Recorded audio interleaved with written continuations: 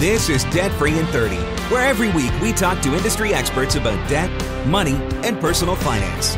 Here's your host, Doug Hoyes. After many years of low interest rates, interest rates are now increasing, and many experts believe we'll see continued interest rate increases in Canada well into 2018. If the Bank of Canada increases interest rates, mortgage interest rates will continue to go up. That's not an immediate problem if your mortgage is locked in for the next five years, but if you have a variable rate mortgage, or if your mortgage is due for renewal in the near future, rising interest rates could have a significant impact on your monthly cash flow. We tend to think that a 1% increase in your mortgage interest rate is no big deal, but if you have a mortgage at 3% interest, a 1% interest rate increase actually means that your interest rate is now one third higher. It's 1 over 3 higher, and that's 33%, which is huge. Here's another way to look at it. If you have a $500,000 mortgage at a 3.25% interest rate, amortized over 25 years, you're paying $2,430.83 a month an increase to 4.25%, which is only a 1 percentage point increase, or 100 basis points, as the economists would say, that puts your monthly payment up to $2,698.30. Now, again, that may not seem like much, but that's an extra $267.47 a month. Do you have an extra $267.40 per month in your cash flow? And just so you know, an extra $267 a month over a 25 year mortgage is more than $80,000 in extra payments over the life of the mortgage.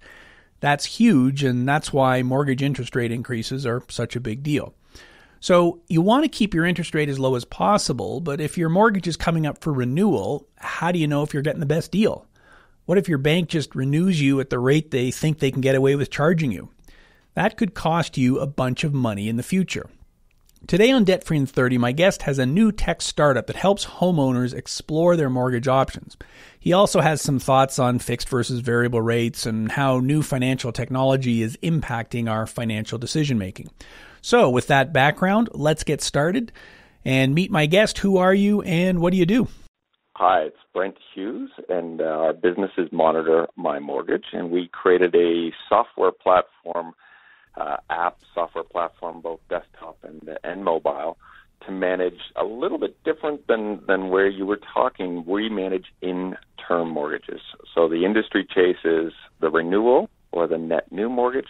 We assist consumers on a day-to-day basis for exactly what you were talking about, as far as when rates change, how does that impact me today? I don't want to wait five years. Um, it hasn't factored in what I may have as far as life changes, new baby, job change. Uh, so we are very focused on the in-term mortgage part of the uh, business.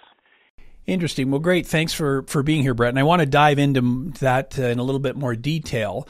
Uh, but before I do, I want to give my audience my standard disclaimer, and, and that's this I don't pay guests to appear on this show, and guests don't pay me to appear on this show. Uh, Debt Free in 30 is not an infomercial for my guests or for any product, so I invite guests onto the show because I think they have useful, practical information to share with my listeners. So you're not going to hear any affiliate links or anything like that mentioned in the show. So, with that disclaimer, uh, tell us a bit more about about this product. So, it's called Monitor My Mortgage, and you said it's more targeted at not the renewal market, but someone who has an existing mortgage. So ex- explain what you mean by that. I mean, if I've got an existing mortgage, why do I need any additional information? Probably that's the simplest way to, to sort of explain why we created this software was I, I've done it as a consumer. So one of the most frustrating things to me was to listen on the radio and hear uh, Bank of Canada is changing changing its rate, which is which is great to hear, but I don't actually know how that impact impacted me over my different mortgages over the years. So I'd quickly pick up the phone, call my broker. They would tell me to, to check on what my amortized value is and what my penalty was. And if at that point they had that information, they would then be able to provide me uh, a solution or a, a stay put uh, type scenario. So that to me is frustrating because I've sort of abdicated responsibility for, for what generally is my largest liability into the hands of somebody else. Um, I don't think I've ever had a call from any of my lenders to tell me that I should be looking at my mortgage midterm. So, so we designed the software to do the calculation of the penalties based on your current situation. So you have the the scenario you gave where potentially somebody could be up to another $265 a month, um, and where is that money going to come from? This way, based on your notification level, so you decide what's the minimum savings that interest you to at least open the door to start to, to discuss changing your mortgage in term, or over the life of the term? What's the savings target you're looking for, not on a monthly basis, but over the remaining term? Because there there are times where the software may say, you know, we can save you a thousand dollars net after your penalty, but you're about to get on a plane and, and head off with the family for a vacation. Probably not the greatest time for you to make that decision. Now, when you return from that vacation, it may may be an interesting thousand dollars to save, but it, it provides you the savings and the notifications based on your specific circumstance and your specific mortgage. So it takes two to three minutes to put your current mortgage in, and then the system runs. You can run it on demand by, by simply pushing a button, um, or it runs automatically for you nightly and provides you notifications. And so, so it was a consumer driven piece of software. If I can add one more item, Doug. Yep. The question I met with um, uh, a professional mortgage, long-term mortgage professional, and he drew me a very simple drawing, and it was a a uh, horizontal line with a vertical line at each end, and he said that's the life of a mortgage. He said, and he did a circle at the beginning and said this is when consumers make decisions on mortgages, and this is when they make decisions at the end. And his business was related to renewal and, and uh, net new mortgages. And I said to him, put an X where your competitors are. And he put an X across the, the beginning circle and an X at the end. And I said to him, our software manages in between that. So every day you're ignoring your customers, we're helping them. We're providing them information on where their mortgage is every day. So I said, and when it comes time for them to either make a, an early renewal, there's a purchase, you know, they've sold their house, they've got a net new purchase, they'll have the up to date information of where their position is. Because most people don't even know what their penalty is or how to figure it out. A, a variable uh, penalty is very easy to understand of three months interest. Um, but if you're trying to figure out the interest rate differential, then find the information on your lender's website and then do the calculation, most people won't do that. They won't find that out until they're sitting with their lawyer on the payout statement. So, so this provides them the day-to-day peace of mind, really, so where they where they stand. So the way it works, I go into this this program, this app on my phone, and I punch in some basic information. You know, how much is owing on my mortgage, what the interest rate is when it comes up for renewal, and then who your lender, who, who my lender is, and what else do I have to put into it? That so those are your obviously when it started, you know what's the term what's your frequency of payment. Uh, lender is critical because as as much as everybody thinks the lenders are fairly similar on their penalties they're actually not. There are some some extra charges here and there. Once you have that information there's defaults on your notification so minimum savings per month minimum savings over the term to to be notified. Uh, early renewal when you want to be notified on your renewal dates rate changes. So um, when the Bank of Canada makes a uh, rate change, you want to know uh, and be notified. All of those are, are defaults, but you can adjust them based on your circumstance. After that, if it takes you three minutes, um, that would be the, the, the most. And, and then so, the system runs. Gotcha. So I've set up my alerts, and it says, "Oh, guess what? You know, because I can't remember when it was in the summer, whenever the Bank of Canada raised rates, and then they did it again in, in September. I'd get some kind of alert that says, ding, ding, ding, uh, rates have gone up. So here is you know some potential advice for you. So the, the, the app might suggest that I'm with bank ABC now, and I've got three years left to go on my mortgage. But if I switch to a different lender, I could save money. Is that the kind of practical thing it's going to tell me? In the end, we're not a mortgage broker, so we uh, we wouldn't make a lender specific recommendation. What the system will do, the system recognizes the different available rates in the market across. I wish I knew. I should probably have the number, but but 70 plus different combination of different lenders and different rates. If it identifies an opportunity for you, it allows you to connect to one of our vetted brokers across Canada who we have a relationship with.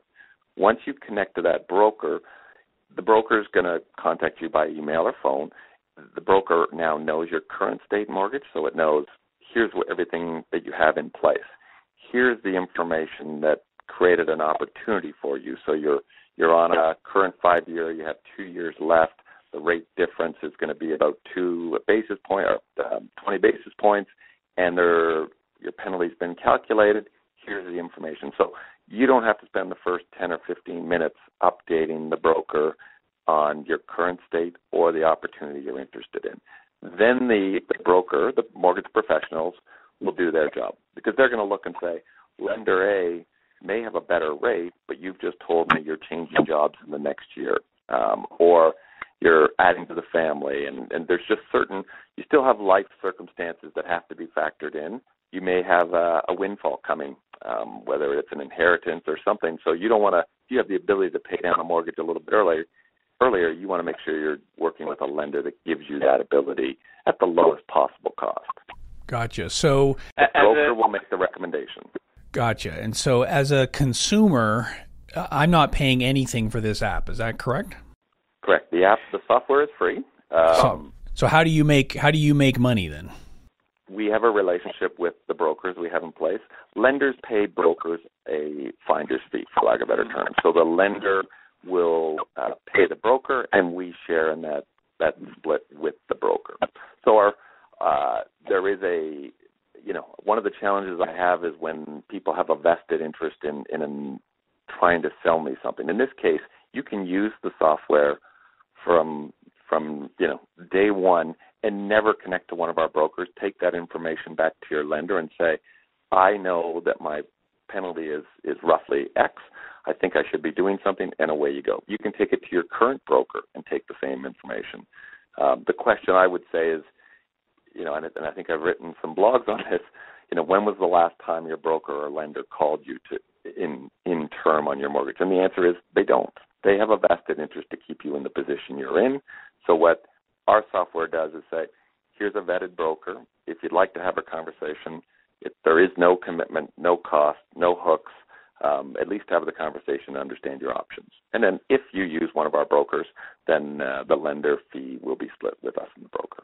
Gotcha. And obviously, uh, I, I'm the one making that decision. If the broker can't get me a better deal than what I could get somewhere else, then I'm not going to do it. So I'm I'm completely in control. I guess is is what you're saying. So, um, okay, so that that kind of makes sense, and I I get the business model. Your goal is that um, lots of people will be using it. Lots of people will see that there are potential savings. They'll reach out to one of the people in your network to do it. But if they don't, fine, they can they can use it completely for, for free and, and do what they want with the information. So, okay, so let's let's uh, talk about. Uh, well, I want to get into interest rates, but before we do that, what you're describing this this app that you've got, I guess the, the current buzzword is is fintech. This is a fintech application, a financial technology thing that uh, that's that's the buzzword. If you want to start a company and raise a few million dollars in an IPO, just call it fintech, and uh, just like the internet in the year 2000, right? Everyone will jump on it. So if it were only that easy, there you go. Eh? I live in a simplified world, obviously, where where I think everything is is real easy. So how do you see applications like yours or fintech in general impacting the way we make financial decisions because you described how it used to be. Once every 5 years, I would walk into the bank and they would tell me what my new mortgage interest rate was going to be and I'd sign the piece of paper. That's no longer the way it has to be. So, what do you see as the future for applications, not just in the, the mortgage area, but you know, fintech applications in general, and how we're going to make financial decisions in the future, and, and what that's going to do to the financial industry in the in in general. Yeah, I think it's it doesn't just start with the financial industry for me. I mean, if I'm looking to uh, to hire a, a, a taxi or a car to go from A to B, um, we used to stand on the corner, we'd wave our arms, and, and hopefully somebody would stop.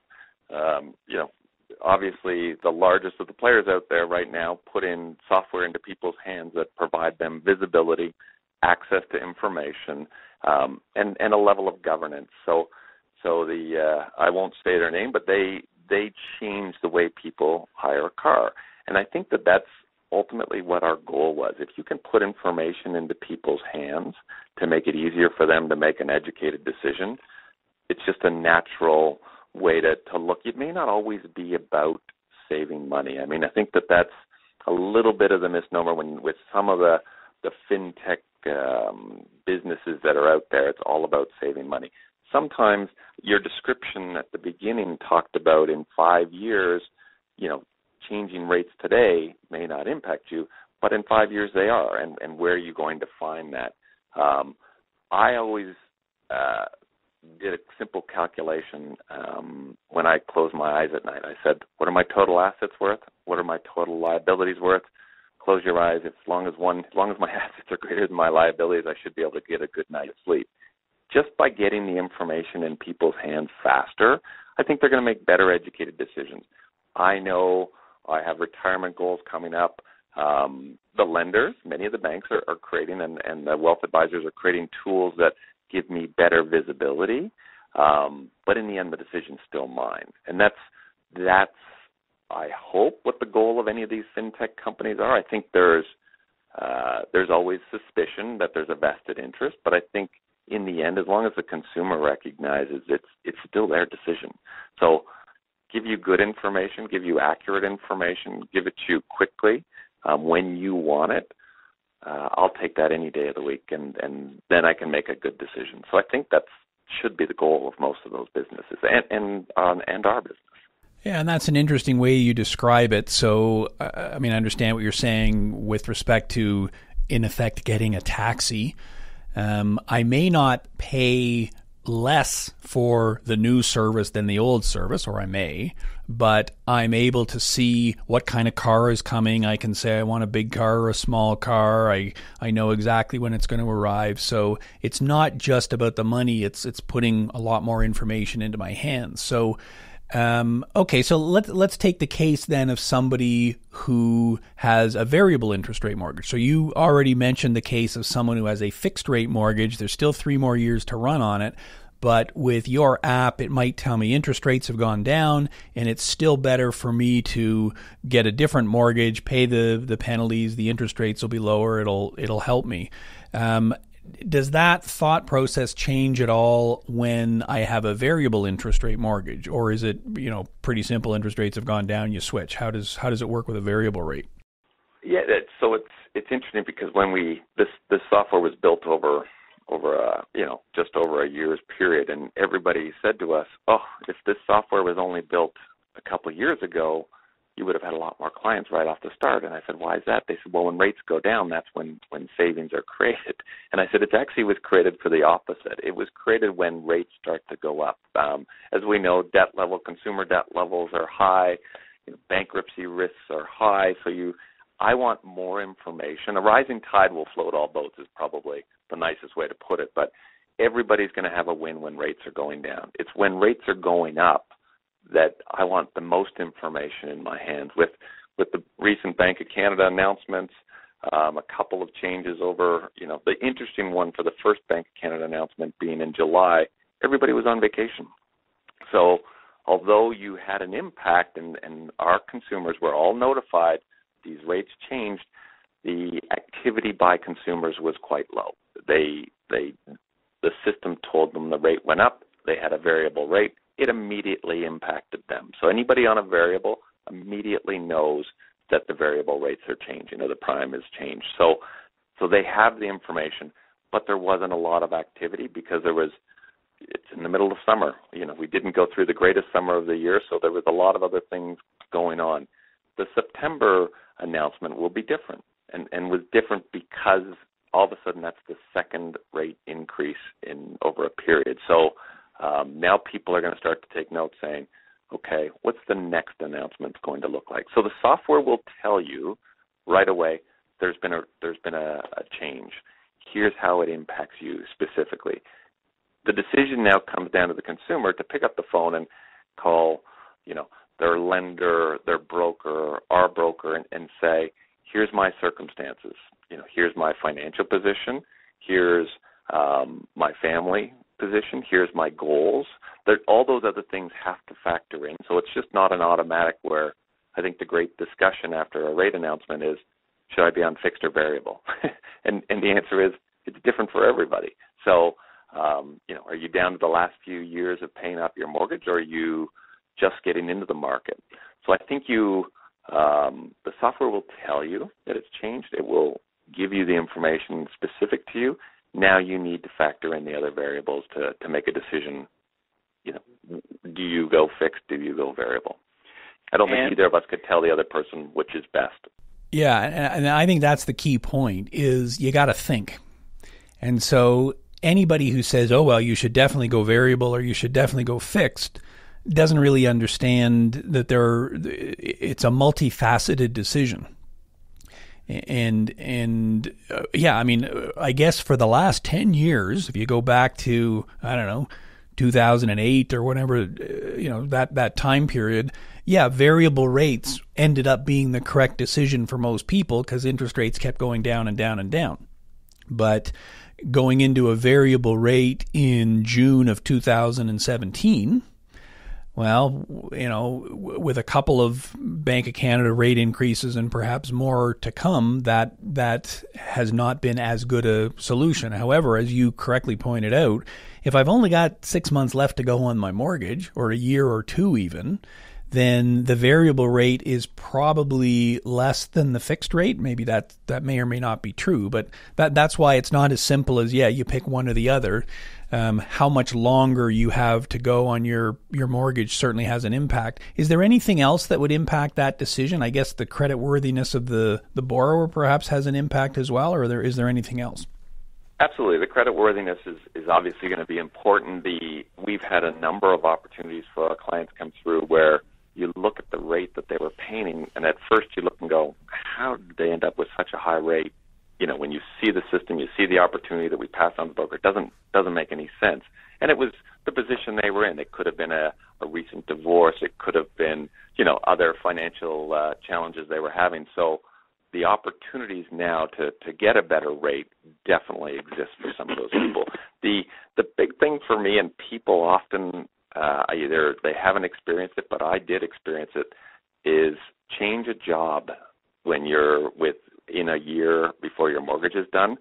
The lenders they look at you very differently, and you can be with that same lender for years, but all of a sudden you've changed jobs because it's a new opportunity, it's a better role, it's a great opportunity, and you're six months into your new job and you go back to your bank and say, okay, it's time for uh, renewal of my mortgage, and they say, well, you've only been in your job for six months, and you're going, wait a second, I've been with you for two mortgage renewals, I've been in the my same old job for ten years, and now all of a sudden you look at me, you know, with uh, with a little bit of uh, concern. It just doesn't make sense. So I always anybody that ever asks me, I always say, make sure you're looking at your renewal time frame before you change that job. I think that's a an interesting factor that gets overlooked.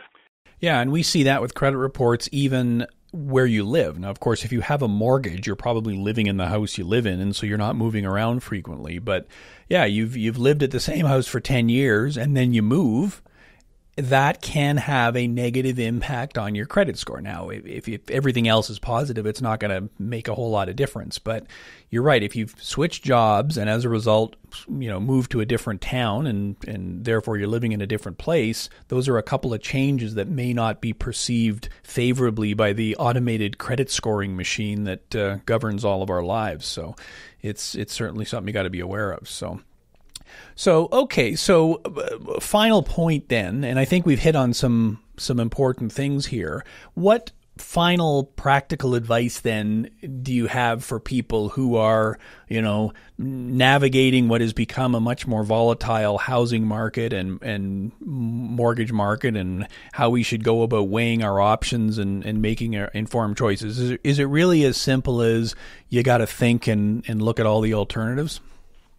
Yeah, I think it's it really is probably that simple. And and you know obviously our software provides you a certain level of information. There's other software there's other contact points um, whether it's uh, uh, it's just reading staying informed is really all I can say. It's it's that if we've abdicated well one of the things that used to make me crazy is people would get excited when their cell phone or mobile bill went up by you know ten fifteen twenty five dollars a month and they were quickly jumping on the the so-called loyalty line to to have a discussion with their carrier and and would be very frustrated and yet our largest generally our largest liability and one of our biggest payments every month is going towards our mortgage um, so if there's tools um, or information out there to keep you informed I would say don't assume that others are watching it for your best interest.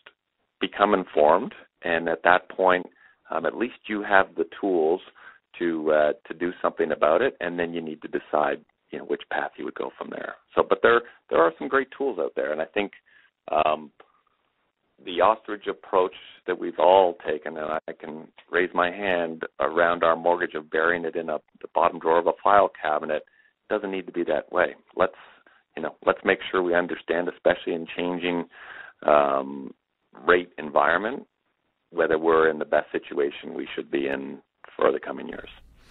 Yeah, and I think that's a that's a great way to end it. I totally agree that you got to look out for yourself. You are the most motivated person to look out for yourself, and you're right. Your house is probably the biggest expenditure you will ever make in your entire life, and therefore your mortgage payments over the life of that are the most money you will ever spend. Uh, in fact, you spend more on the mortgage than you spend on the house because you're you've got interest tacked onto it. So so keeping track of where that all uh, you know pans out is is critically important. So so well that that's fantastic. So Brent, how can people find the app that we've been talking about today? So we're we're available both uh, on uh, both Google Play as well as um, the App Store. Um, you can also there's a desktop version at our website, I'm not sure whether I can share that. Yes, go ahead. Tell us tell us what the website is. It's just monitormymortgage.com. So all one word, monitormymortgage.com. But it's available in in uh, all of the mobile uh, stores, and um, it's free. So we hope uh, we hope that it can help you. And if uh, there's anything that anybody sees that they would like to see enhanced that, we we're always open to uh, add and, and uh, adjust the uh, the software based on recommendations. Excellent. Well, thank you very much. Thanks for being here, Brent. I appreciate the time. Excellent. So once again, Brent's app Monitor My Mortgage can be found at monitormymortgage.com. So that's all one word. And then, of course, if you search for that in the various different app stores, you can find it as well. Um, I think the next year is going to be much more vol- volatile for mortgage interest rates than what we've seen for the last few years. So whether or not you're using Brent's app, I think being aware of your options is, is obviously very important. So that's our show for today. Full show notes, including a transcript and links to everything we discussed today, including uh, Brent's app, can be found at hoyes.com. That's H O Y E S.com. Thanks for listening. Until next week, I'm Doug Hoyes. That was Debt Free in 30.